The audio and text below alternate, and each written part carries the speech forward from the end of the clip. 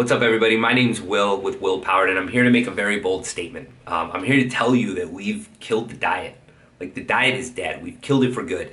And not a lot of people want you to know that. And what we've figured out is getting results, whether it's um, lowering your body composition, gaining muscle, alleviating a lot of the symptoms that you have on a day to day basis, has nothing to do with the diet at all.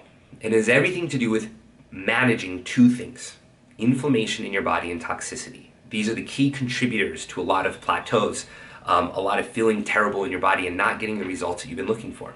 And what we do is not only do we educate you and teach you on how to manage that and alleviate it, but then we teach you about your body and foods. So you become empowered to get the results that you want.